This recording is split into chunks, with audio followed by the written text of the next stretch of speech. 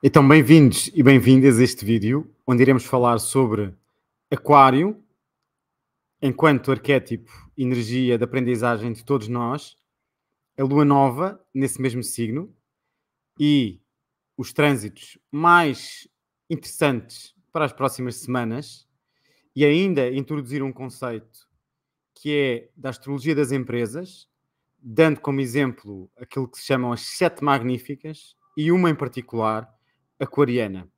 Então, espero que seja do vosso interesse. O meu nome é João Medeiros, pratico astrologia há mais de 20 anos e é com muito agrado que faço estas reflexões. Então, sobre Aquário, em geral, décima primeira energia zodiacal, do zodíaco tropical ou natural, associada ao máximo do inverno, portanto, é uma energia mais fria, mas já com aumento da luz natural seja, a duração do dia no hemisfério norte aumenta. E isto implica que, é, de facto, há algo de especialmente luminoso, embora frio, nesta, um, nesta energia uh, uh, em particular. E por isso mesmo tem como regente Saturno, que é o planeta mais austero, mas também é o planeta da ciência, das estruturas, e dos sistemas sociais, e corrigido por Urano, considerado o astro dos céus, do espaço, da inovação e da individualidade e da independência. Então, todos estes são temas importantes para quem tem Aquário como energia dominante. Ou... Haverá sempre fases na vida em que nós temos que desenvolver mais esta energia ou, esta, ou este processo que tem a ver com questões de mentalidade, sociabilização, ideias e diferenciação. Já agora, mentalidade, ideologias, diferenciação e individualidade. São temas uh, muito pertinentes para esta altura do ano e para este arquétipo em especial, para esta energia em especial. Claro que mais um, enfatizadas em pessoas de Sol Aquário ou de Ascendente Aquário, mas são aprendizagens de todas as pessoas, um, sempre. Então, um, é um signo de ar e não de água, como algumas pessoas pensam, ou seja, é um signo intelectual e mental, apesar do nome, e do meio da estação. O meio da estação indica que é um signo de modo fixo, ou seja, resiliente e determinado e resistente, mas resistente a nível do ar. Resistente a nível do ar é resistente e teimoso a nível das ideias. E um, por isso é que, por exemplo, muitos desportistas campeões mundiais mais frequentemente são signos solares de Aquário do que de Fogo. Eu posso dar alguns exemplos, desde Kelly Slater no surf, Michael Jordan no basquete, um, Mark Spitz natação, Babe Ruth, beisebol, futebol, Cristiano Ronaldo, Eusébio e muitos outros. Ou seja, é uma energia que nos permite sermos determinados nas nossas crenças e isso é muito importante. Mas é igualmente importante saber em que é que na sociedade nós nos distinguimos, ou seja, qual é que é a nossa essência e individualidade. Ou seja, o que é que nós temos de diferente, único, especial, não tendo medo de expressar perante os nossos, perante os próximos, perante os nossos amigos, perante os grupos, não ter receio de expressar essa mesma diferença, que aliás é a nossa proposta em termos de missão de vida. Isto é, todos nós viemos trazer algo de único e de especial e de novo à nossa, ao nosso clã, à nossa nação, à nossa cultura, à nossa época, e que muitas vezes isso é expressado pelo ascendente, pelo seu regente, mas igualmente pelo planeta Urano, onde muitas vezes simboliza zonas no nosso mapa natal onde nós podemos ser geniais e podemos dar saltos quânticos. Então, o salto quântico, ou seja, um salto muito rápido, num período curto de tempo, e que implica uma realização material até muito forte, é também um apanágio deste signo e que está muito ligado, por isso mesmo, à tecnologia. Ou seja, quem tem esta energia bem desenvolvida são normalmente pessoas que, para além de uma certa inteligência, têm uma certa capacidade para entender como usar tecnologia, sejam redes sociais, tecnologia digital, maquinarias, uh, outro tipo de produtos, para se expandirem e irem mais além. Ou seja, não só é um signo futurista, com capacidade de visão para além da matéria, e por isso é que em Aquário nós estamos no topo da montanha a ver a serra, não estamos a subir a montanha, porque isso é Capricórnio. Em Aquário nós vemos o panorâmica total do espaço e da Terra. Então, é de facto um signo de visão muito aberta, muito ampla, mas que sabe não só ser resili resiliente nas suas ideias contra ventos e marés, mesmo que sendo a única ovelha negra, isto é, tem muito a ver com nós assumirmos aquilo que temos de único e de diferente, sem receio, e um, blindando-nos mentalmente em relação a influências externas. Então, muita dessa é a proposta aquariana, porque assim é que estamos verdadeiramente a criar uma sociedade mais plural, ou seja, uma sociedade mais rica. Então, a proposta desta fase do ano também é a nossa compreensão em que é que somos diferentes, únicos, como é que podemos usar a tecnologia a nosso favor para precisamente nós expandirmos nessa manifestação do eu na sociedade, ajudarmos a sociedade e com que ela também fique mais rica e mais completa. Então, assim, genericamente, são algumas ideias interessantes ou importantes para abrirmos aqui o tema e já agora para irmos para o mapa da Lua Nova. A Lua Nova acontece dia 9 de fevereiro, na altura em que está a ser lançado este vídeo, perto das 23 horas, hora portuguesa. As luas novas são sempre alturas de pico de energia e também de renovação. E neste caso é pedido que nós tenhamos uma renovação em tudo o que tem a ver com a energia de Aquário. Voltar a contactar amigos, perceber como funcionamos em equipa, perceber a nossa identidade, assumir a nossa diferença e usar tecnologia, usar contactos sociais. Então, tudo isso são temas importantes a lembrar nesta altura. Ainda por cima, estando Mercúrio em Aquário em quadratura Júpiter, ou seja, a comunicação altamente expandida, mas também é importante lembrarmos que temos o regente tradicional Saturno em peixes, o que implica a importância de nós também fazermos as coisas com alma e com sentimento, com profundidade, com sentido de missão sagrada. Ao mesmo tempo, esta lua nova faz quadratura a Urano o que implica, à partida, que nestes próximos ciclos, neste próximo ciclo de 28 dias, socialmente, pode haver, de facto, mais avanços e também mais surpresas em termos de acontecimentos políticos uh, mundiais. Mas, sobretudo, uma aceleração do uso da inteligência artificial e de outro tipo de tecnologias. Então, um, ehm, se tu tiveres, por exemplo, nascido perto de 9 de maio, então, não só este mês poderá ser um mês mais refrescante e de mudanças, como todo o ano que vais ter pela frente. Se tiveres este grau 20 de Aquário noutro qualquer importante ponto do teu mapa, é normal que sintas uma revitalização nessa mesma área de vida. Então, já agora, quais é que são aqui os trânsitos mais um, relevantes para os próximos dias? para além destes.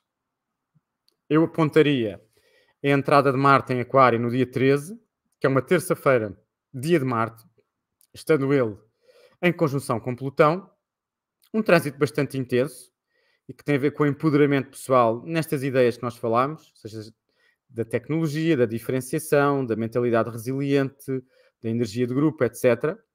Mas coletivamente é normal quando Plutão passa por, por Marte ou Marte por Plutão que haja um bocadinho mais de tendências bélicas ou explosivas em termos de política mundial.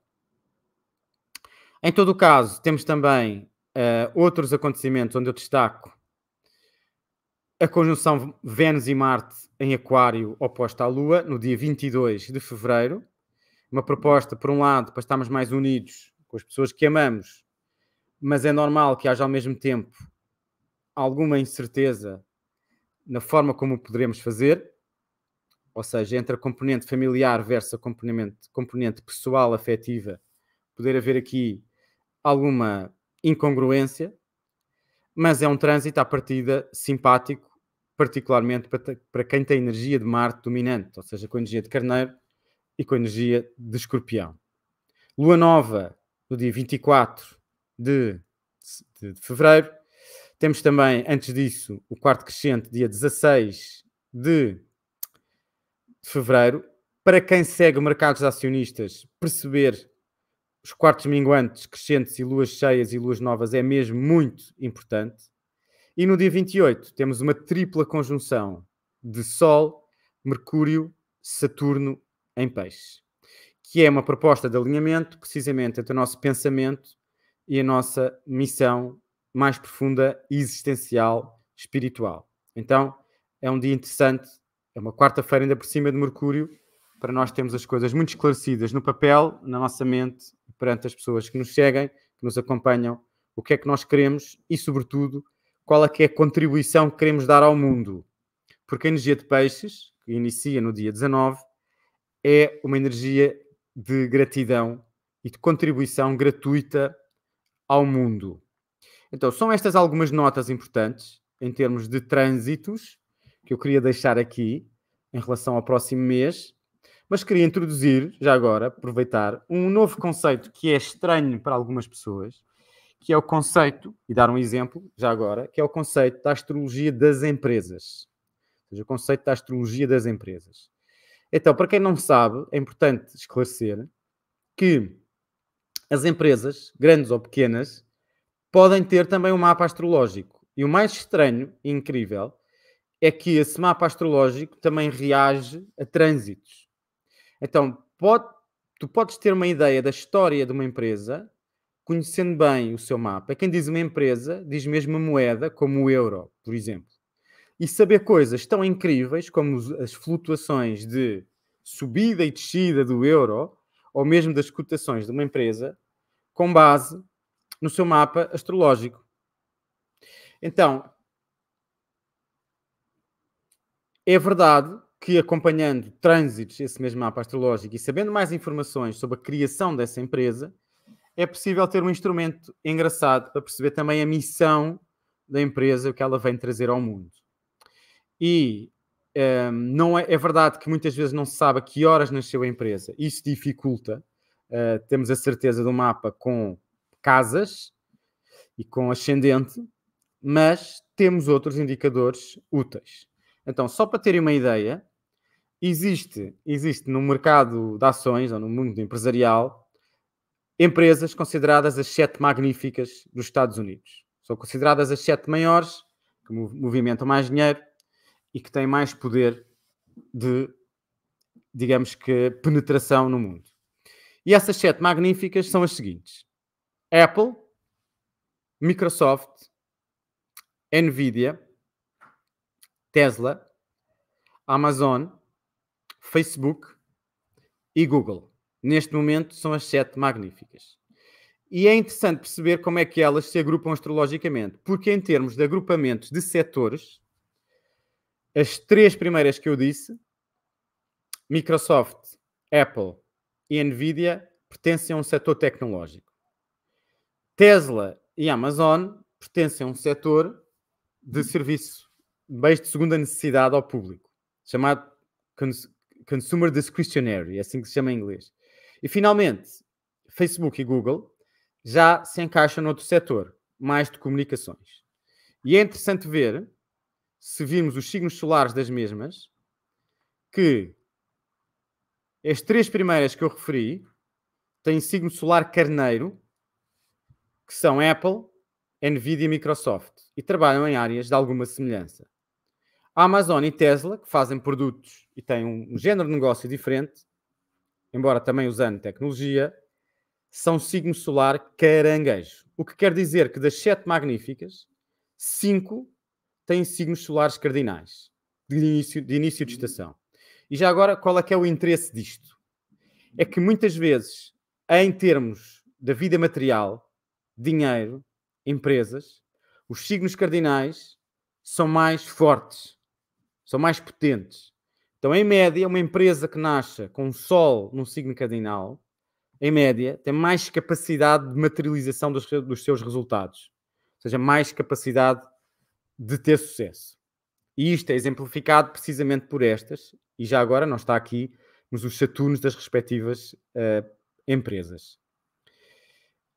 Interessante também saber que o dólar nasceu com o signo solar carneiro e é uma moeda vitoriosa, e que a Bitcoin e o euro nasceram com o signo solar capricórnio, o que quer dizer que também tem a tal energia ou a tal assinatura de início de estação, que à partida, para temas materiais e empresariais, como são energias mais de direção e de objetivo, tendem a ter mais sucesso.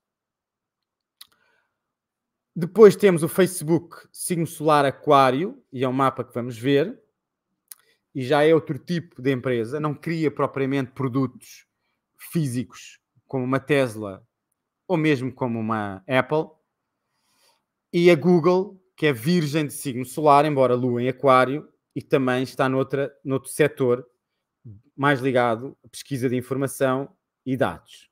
Então também não produz propriamente um produto material físico. Ok? Então daí também ser signo mutável e signos fixos. O mapa do Facebook eu trouxe, uma vez que é aquariano, e é dos poucos mapas aquarianos que eu tenho de empresa, e é particularmente interessante porque se nós considerarmos o meio-dia solar, porque não sabe a hora, mas que é um critério normal, seja para países ou para empresas, vemos que tem um ascendente gêmeos, o que faz bastante sentido, no sentido em que tem como propósito a comunicação entre as pessoas. Sol Aquário é algo que é uma rede social, ou seja, que liga grupos de pessoas pela internet, que é algo aquariano. Então faz bastante sentido ser uma empresa aquariana, mas tem a lua em caranguejo. E normalmente, quando mapas de empresas têm planetas em caranguejo, têm tendência a ser mais populares, nomeadamente a lua que representa os clientes. E o que os clientes precisam, casa 3, é comunicação. Então é o que também o Facebook veio dar. Lua em caranguejo, um grande público trigo na Vênus em peixes, à partida a proposta é haver união entre as pessoas. Mercúrio em Capricórnio, há uma componente empresarial, mas não muito forte. Curiosidade, Saturno, também caranguejo, retrógrado. Quer dizer que o Facebook já foi chamado a atenção várias vezes por violar as regras e violar as leis em termos de anonimato do público. Porém, é relativamente comum empresas muito, muito grandes terem nascido com Saturno em caranguejo. Aconteceu mesmo, com, por exemplo, com a Tesla, com a Microsoft e com a Apple. A Microsoft talvez não, mas a Apple sim. Por que é que isso acontece? Porque quando a empresa se torna pública e é comprada pelo público do mundo inteiro, o público do mundo inteiro é caranguejo. Ou seja, quando uma empresa vende ações para o público, para a sociedade, sendo caranguejo o, o, o signo do povo, então por isso é que, sendo Saturno as estruturas, quando uma estrutura de uma empresa está muito distribuída em termos de ações pelo povo, pelos acionistas minoritários, faz sentido que tenha Saturno em caranguejo. Então, teoricamente, é mais potenciador para o sucesso de uma grande empresa a longo prazo tendo acionistas pelo mundo inteiro, que tenha Saturno em caranguejo, que é o detrimento de Saturno, e não Saturno, por exemplo, em Capricórnio. O que é, a partir de um contrassenso astrológico, mas que faz todo o sentido quando nós percebemos a realidade e o funcionamento das coisas. Então, já agora, quando Júpiter transitou pelo Sol do Facebook, o Facebook teve uma expansão muito grande, e teve também nas suas ações, ações de, de mercado, uma valorização grande. Mas quando Saturno atravessou o Sol, o Facebook teve uma crise muito grande. Ok? E também os graus funcionam em termos de correspondência a anos de vida do Facebook. Então, foi só uma nota de como é que muitas vezes também podemos ver a funcionar em coisas como empresas os signos astrológicos e esta linguagem fantástica que é astrologia. Então, desejo um feliz, eh, um feliz Lua Nova de Aquário. Se estiveres interessados em cursos de astrologia para saber mais sobre isto, arquétiposceia.com. Se estiveres interessado apenas em consultas, joamedeiros.com. Muito grato.